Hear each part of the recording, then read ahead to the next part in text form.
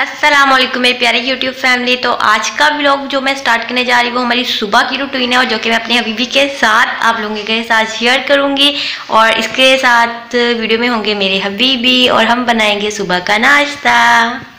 पता है कि पाप की भी उतनी ही इज़्ज़त होती है जितनी माँ की होती है, इसलिए मैं आप के लिए आज एक बहुत प्यारी नात लेके आई हूँ। उम्मीद है आपको पसंद आएगी तो उस नात के लिए मुझे ज़रूर लाइक करिएगा। ਆਉਂਦੀਆਂ ਚੇਤੇ ਜਦੋਂ ਵਫਾਵਾਂ ਬਾਪ ਦੀਆਂ। ਆਉਂਦੀਆਂ ਚੇਤੇ ਜਦੋਂ ਵਫਾਵਾਂ ਬਾਪ ਦੀਆਂ। ਅਥਰੂ ਨਿਕਲਣ ਵੇਖ ਕੇ ਰਾਵਾਂ ਬਾਪ ਦੀਆਂ। ਅਥਰੂ ਨਿਕਲਣ ਵੇਖ ਕੇ ਰਾਵਾਂ ਬਾਪ ਦੀਆਂ।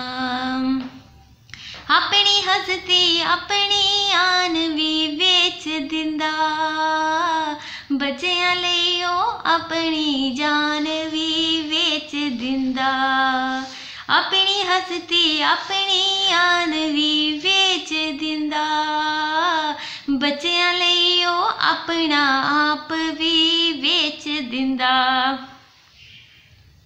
सॉरी अगर मैं इससे ज़्यादा पढ़ूँगी ना तो मैं रो पड़ूँगी। अच्छा जी, यहाँ पे स्टार्ट हो रहा है हमारा व्लॉग और आज हम बनाने वाले थे ब्रेड पैटीज़ मतलब घर पर जो बनाते हैं ब्रेड के अंदर चिकन चिकन लगा के और क्रम्स वगैरह लगा के तो सबसे पहले रात है रात को हमने चिकन बॉईल करके मसाला वगैरह बना लिया था। बीबी बना रहे थे और मैं उनकी हेल्प कर रही थी, चीज़ें पकड़ा रही थी।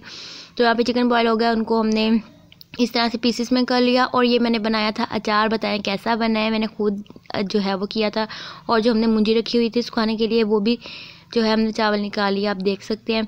तो यहाँ पर जो है इसमें हमने सारे मसाले मसूले डाल दिए थे। इसमें सिर्फ़ कॉर्नफ्लोर डालने वाला रह गया था वो भी, भी सुबह को लेके आएँगे सुबह को डालूँगी और मैंने रात थी इसलिए ढक के रख दिया था और किचन मैंने बिल्कुल अपना साफ़ कर लिया था। तो यहाँ पर स्टार्ट होगी सुबह और सुबह मैं ब्रेड्स वगैरह में से जो साइड से निकले थे उनके मैंने क्रम्स बना लिए थे क्योंकि क्रम्स जो है वो चाहिए हमें। और यहाँ पे भी, भी लेके आए थे सुबह सुबह ब्रेड लेके आए थे वो कम पड़ गए थे। और मायोनीज़ कॉर्नफ्लोर और ये दूध के अंदर हम कॉर्नफ्लोर को मिक्स करके जो रात पेस्ट बनाया था ना उस पेस्ट में इसको हमने डालना है।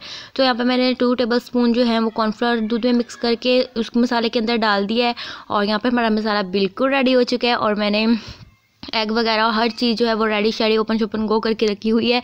क्योंकि सुबह का टाइम आपको पता है, बहुत शॉर्ट होता है और हस्बैंड को जो होता है वो काम पर जल्दी जाना होता है तो यहाँ पे मैंने ब्रेड को जो है वो इस तरह से सेंटर से ना गोल गोल वाला निकाल लिया था।